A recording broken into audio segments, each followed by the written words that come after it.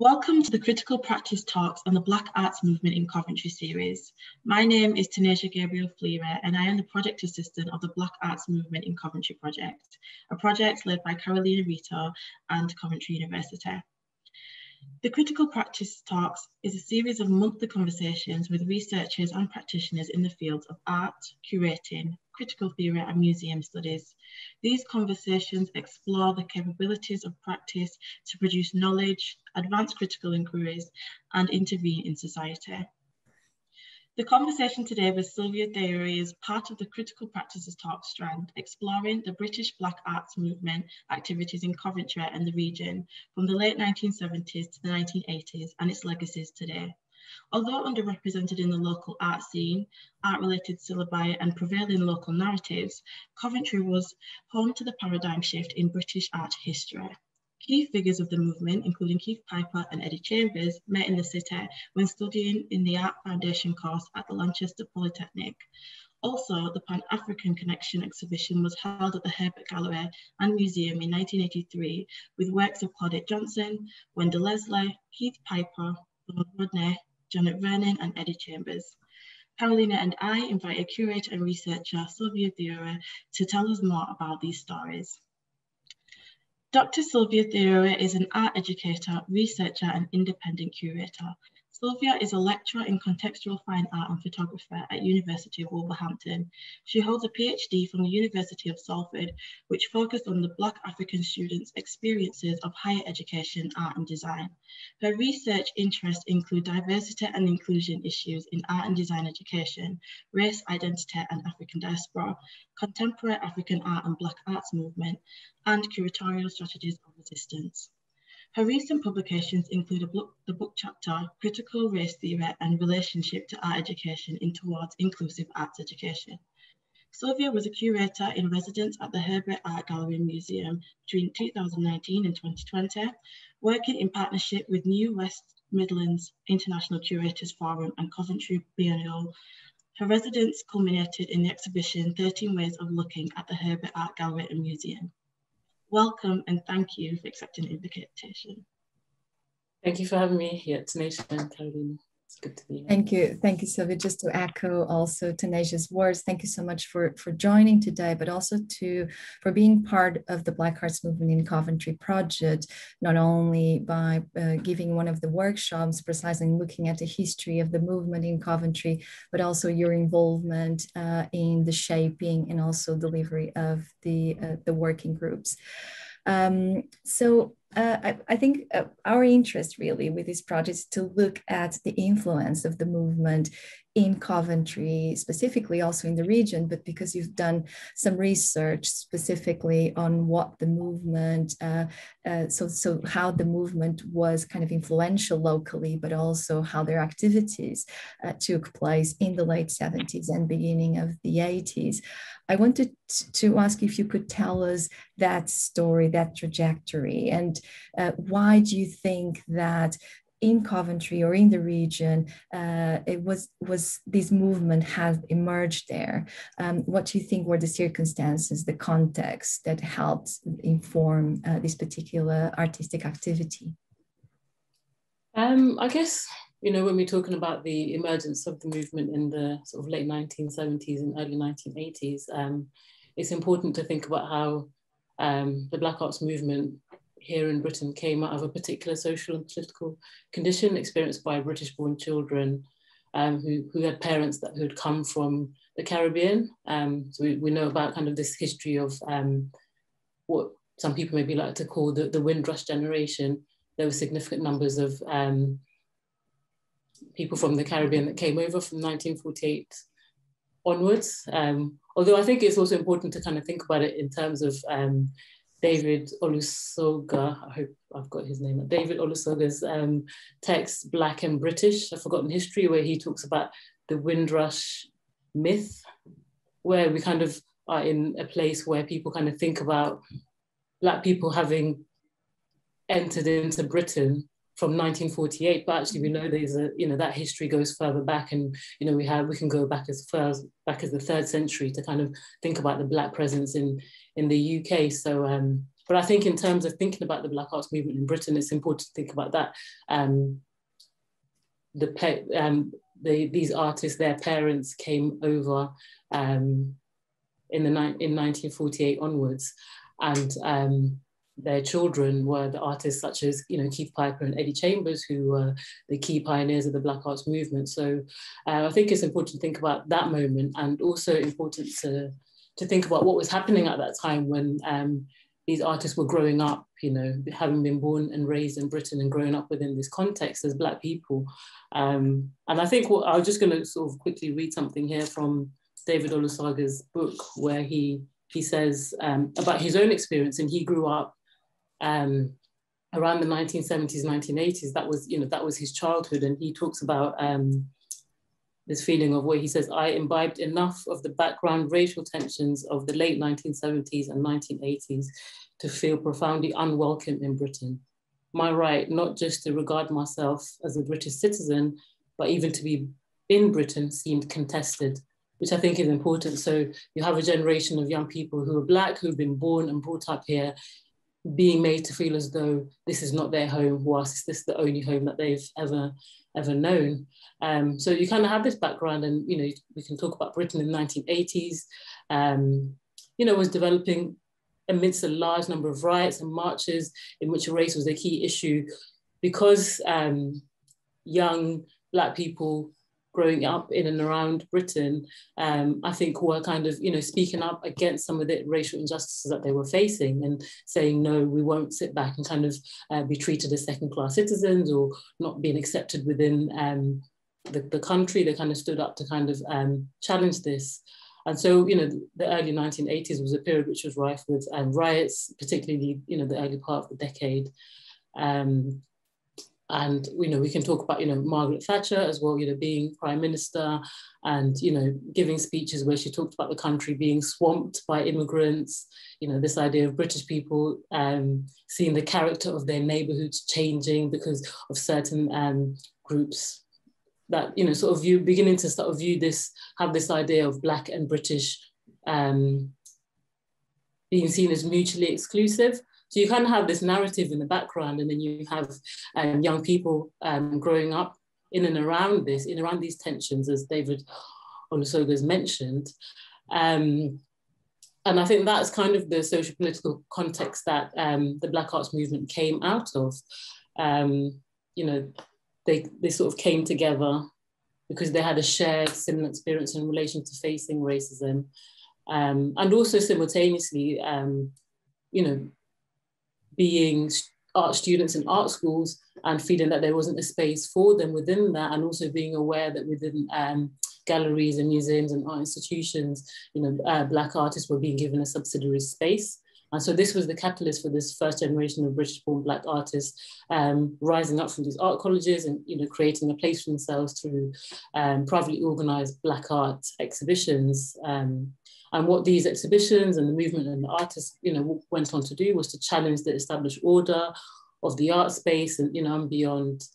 Um, and so I think we can kind of think about it in terms of that being the, the background within which this mm-hmm. um, movement emerged from and the circumstances in, in which it happened. Um, I don't know if that's answered the question or Absolutely. No, absolutely. I was just wondering if you could now kind of zoom into Coventry and give us a, give us a, uh, kind of a, the narrative of, of what happened there because it, it seems to be kind of understudied and and uh, not much literature really covers uh, what happened you know like Eddie Chamber and and uh, Keith meeting for instance there in a foundation degree but also what happens then with the exhibition in at the Herbert if you could just give us that um, kind of it tells us a bit more about those events and probably the reaction in Coventry, because I think that's crucial, isn't it, Sylvia? And you've done some research on that. If you could just tell us a, a bit more about that.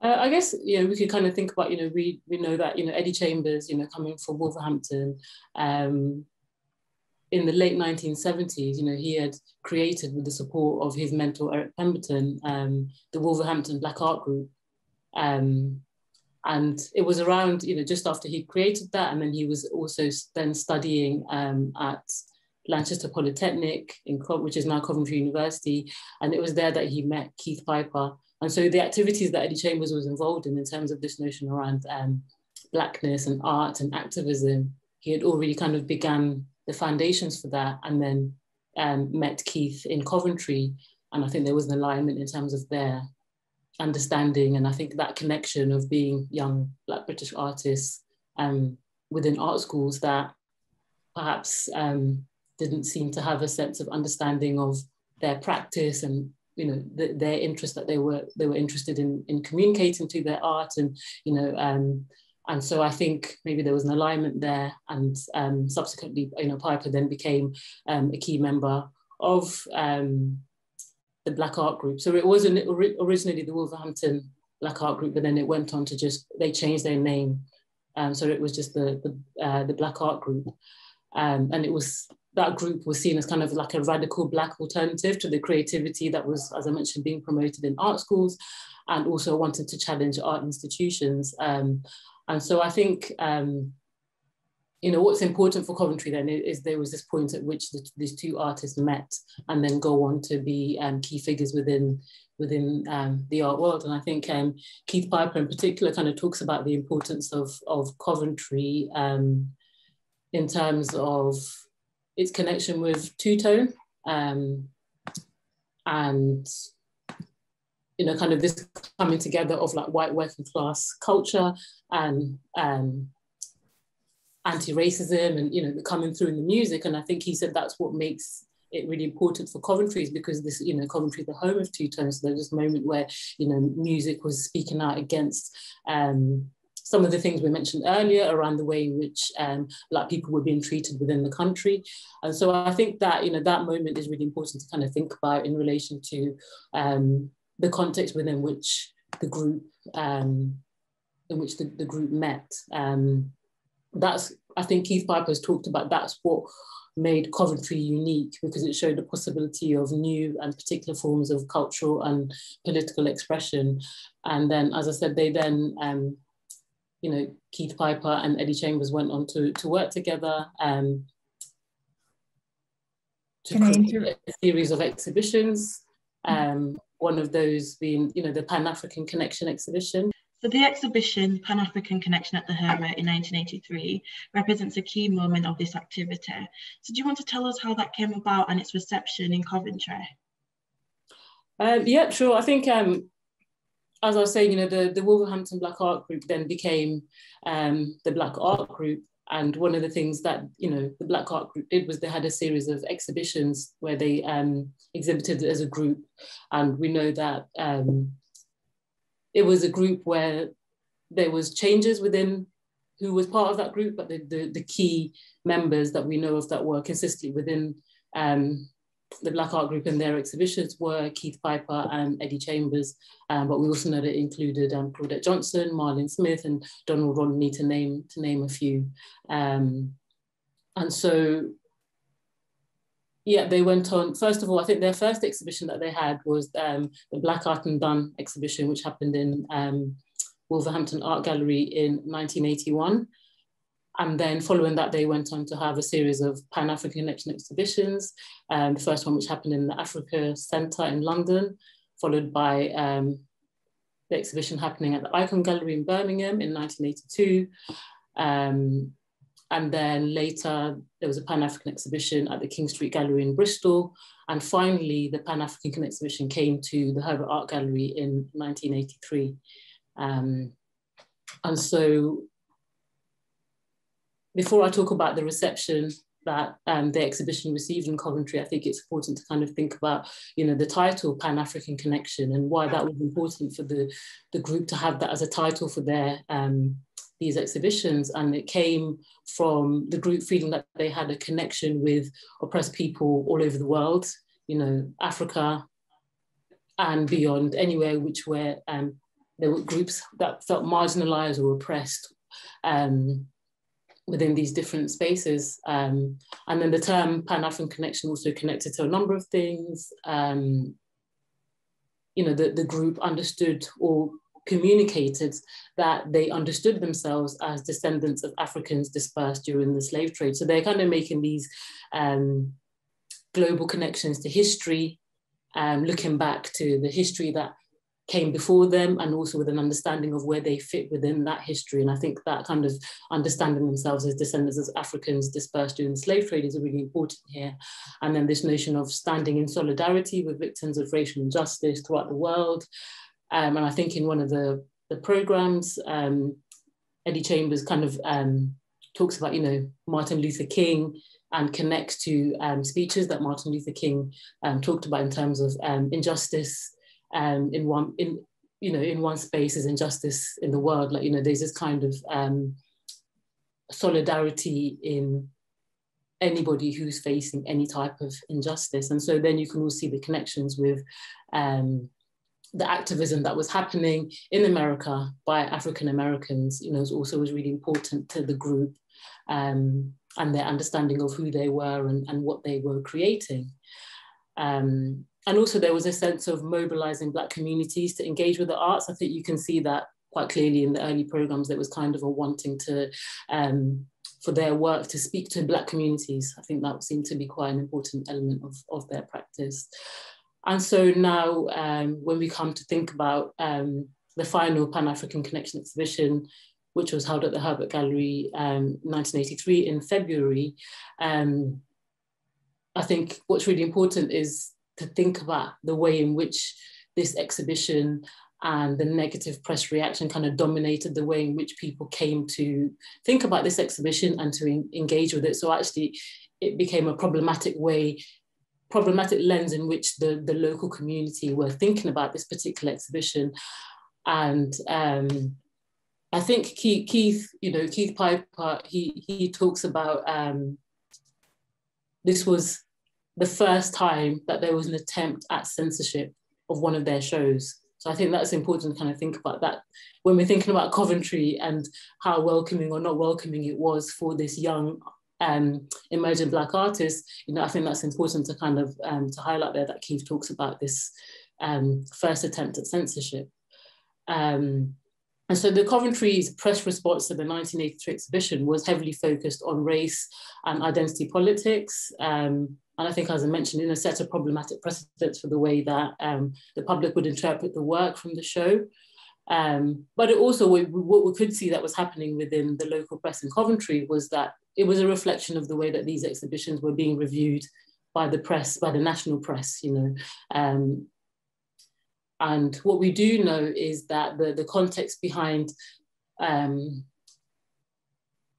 the problems, the problematic kind of press response was that there was a local councillor who took offence to one of Keith Piper's um, artworks depicting a black man hanging from a noose. And he want, this um, councillor wanted that work to be removed from the show. Um, the artist refused um, and, and said that if the, if that work came down, the show wouldn't open. And so I think what happened then was that that artwork was moved somewhere towards the back of the exhibition and an age limit was placed on the exhibition. So anybody under 16 had to be accompanied by an adult. Um, and I think they were talking about partly um, the visuals of, the, of this particular artwork. I wrote Reactionary Suicide, Black, Black Boys Keep Swinging, that particular artwork. They saw that as problematic, but I think they also kind of highlighted that there was some language that they were unhappy with, maybe swearing, which we know, you know, is part and parcel of art you know that you know that wasn't something that was isolated to this particular um, artwork or the you know um, the artists that the, that were part of the black art group but um, what you perhaps you can see is there was a sense of the councillor um, wanting to appease white audience members who maybe would feel uncomfortable with the content and the language. Um, and that was perhaps was taking precedence over engaging with the artwork itself. And so this, this kind of trying to force censorship or removal of artwork um, then became the focus of the um, the press dialogue. You know, you kind of see that in in the, in the headlines and the, in the discussions that then subsequently happened. Um,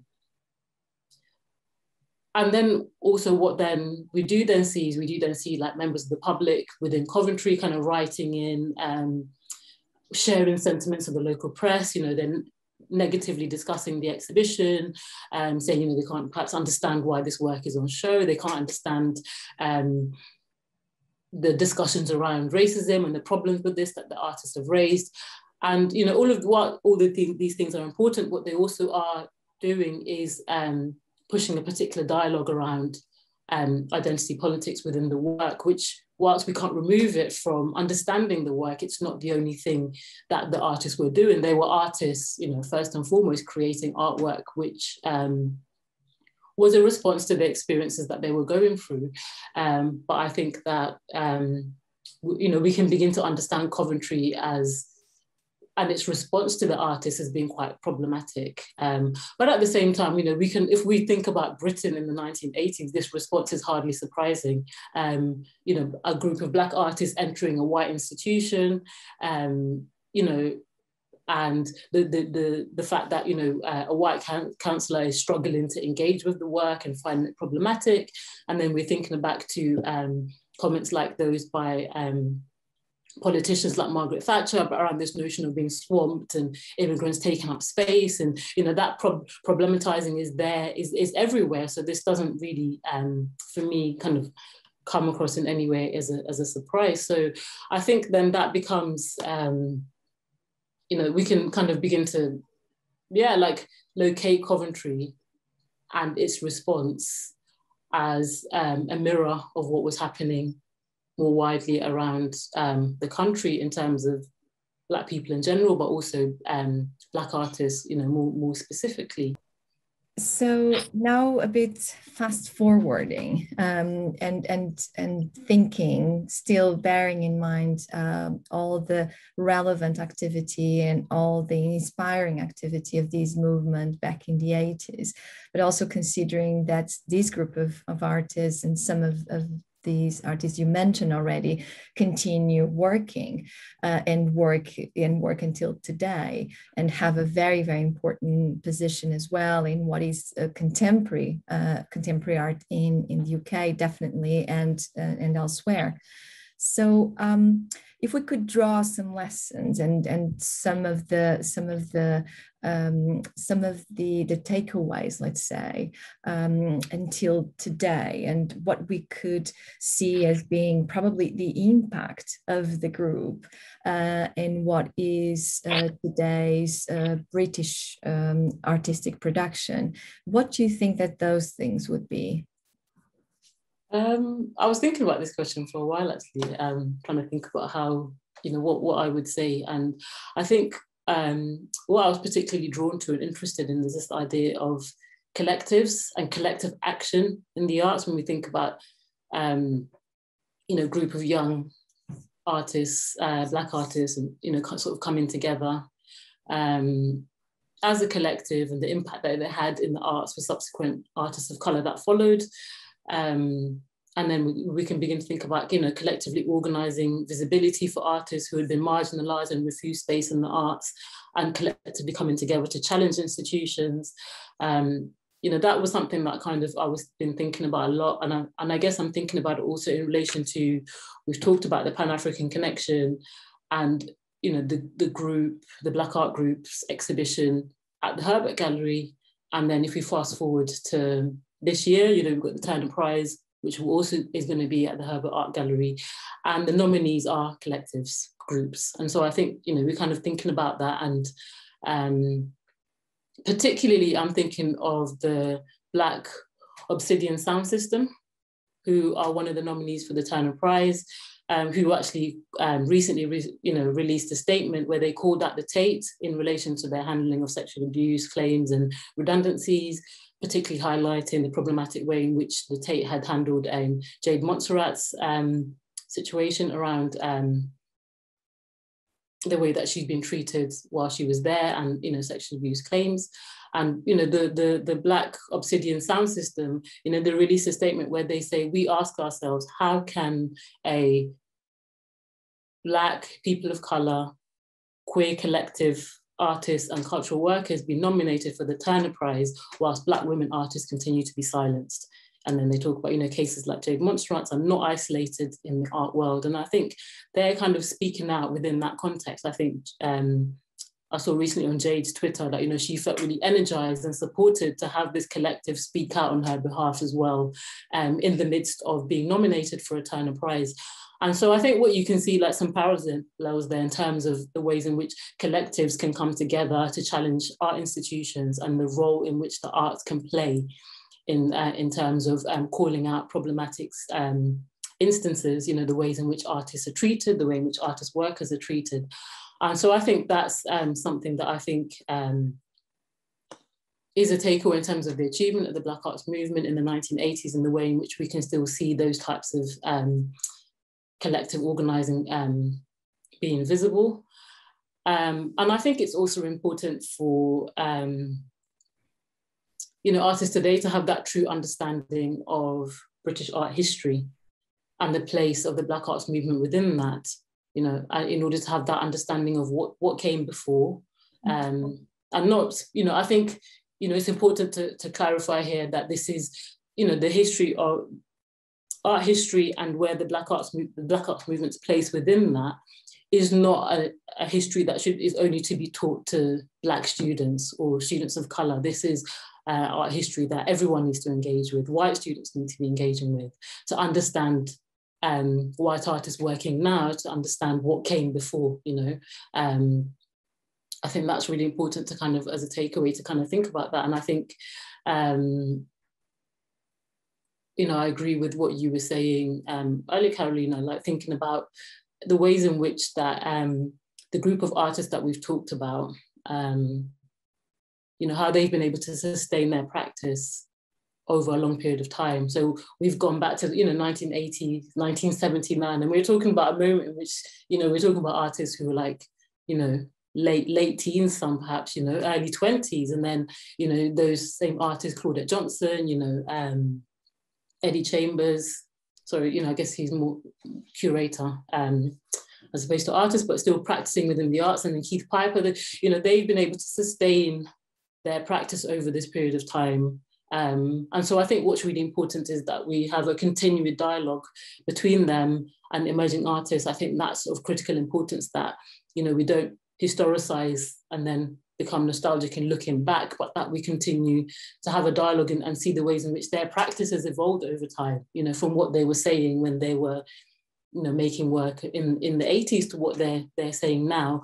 And i think also engage with the fact that there's been a significant amount of change in that time but yet at the same time so much has stayed the same you know. And what does that mean you know in terms of um artists working now you know how can they engage with um, that history of the 80s and see the change that's happened since then into the 90s and into the 2000s. And I think also important to kind of think about, and I think Eddie Chambers talks about this quite a lot, you know, that, you know, kind of all this early activity of exhibitions and spaces being opened up for these artists.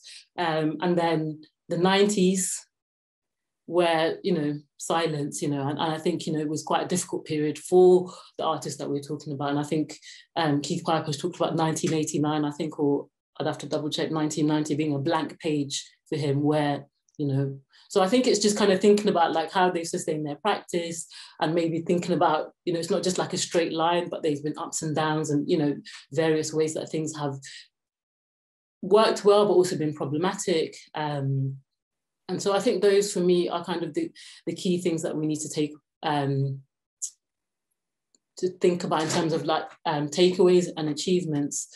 Um, and particularly, you know, this idea of challenging institutions, um, not just um, galleries and spaces like that, but also art schools. You know, I think there was something really important about what they were doing, about you know speaking up and saying that the education that they were receiving, the art schools that they were in, were not able to engage with them and the work that they were trying to create. And, you know, I guess it's to, to think about like, you know, how much has that changed now within arts institutions? And I, I guess I think about that because my PhD was in was looking at the experiences of Black African students in higher education, art and design, and to see how some of those narratives were really prevalent in um, the interviews that I had with um, art, you know, with um, students, art students. This was about you know five, you know, five six years ago, and you know so much of what those um, students that I interviewed were saying was that you know they, they didn't feel like the tutors could engage with the work that they were making.